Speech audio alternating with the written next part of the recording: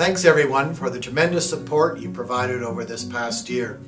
The support has enabled us to provide food to families facing the risk of famine in places like South Sudan, Somalia, Nigeria, to households facing drought in Eastern and Southern Africa. We've been also able to provide food to refugees fleeing across the border from Myanmar into Bangladesh. We've been supporting families, improving their agricultural practices to improve their livelihoods so they can feed themselves and their communities. In addition to that, many of you have been praying for those around the world. You've been making presentations in your churches, in your schools, in your communities. You've been speaking with your members of parliament and even sending postcards to the Prime Minister. All of this is making a difference. We're very grateful for this type of support provided. Thank you very much.